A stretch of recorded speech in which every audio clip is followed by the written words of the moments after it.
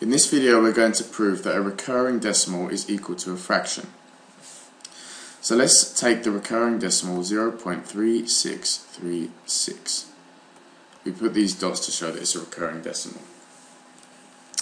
Now the trick is, is we let this number equal x. Now here's the part you have to remember. We look at how many digits are involved in the repeated part of the decimal. So here we have 3636. There are two digits being repeated. We then times this number by 100 because 100 has two zeros. So we times it by a multiple of 10 which has two zeros, in this case 100. This is so that we get these two numbers in front of the decimal point. So if we times this number by 100 we'll get 36.3636 recurring. That's equal to 100x. Now, if that is equal to 100x and this is equal to 1x, then if we minus x from 100x, we will get 99x. And what we'll do is because this is the same as this, we'll get rid of that part of the number and we'll end up with just 36. And now this is a simple equation.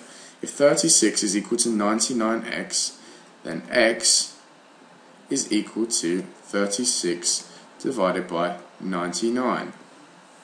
And there we have proved that a recurring decimal is equal to a fraction. But we're not done yet. Can we simplify this? Well, it turns out yes we can. What goes into both of these numbers? 9. 9 will always go into 99. 9 goes into 36 how many times? 4. So we get 4 over 11. 99 divided by 9 equals 11 equals x. And that is the, the that question.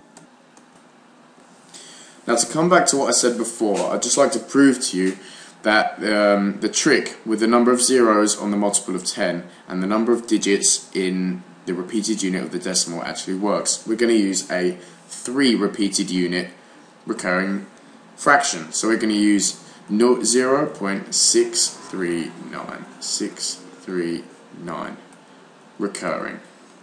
Okay, now this has three repeated digits in the recurring part of the decimal and therefore we're going to have to times it not by 100 this time because that has two zeros but by 1000 so this is equal to x.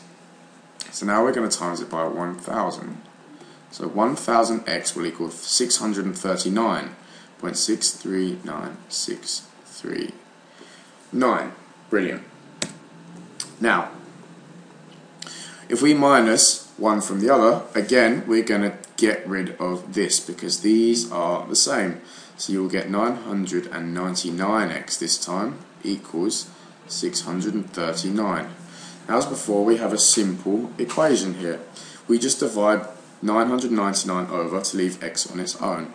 So x is equal to 639 divided by 999. Now in your exam, if you don't have a calculator, this is completely sufficient. Completely sufficient uh, to leave the fraction like this. If you do have a calculator and it can show you how to simplify this number, then brilliant, use it, because this actually can be simplified. 999 will divide by 9, and 639 will also divide by 9.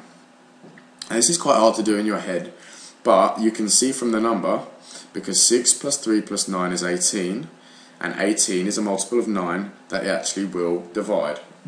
So what do we get when we divide 639 by 9? We get 71. And when we divide 999 by 9, we get 111. And this is the simplest form of the fraction, and that is the question done.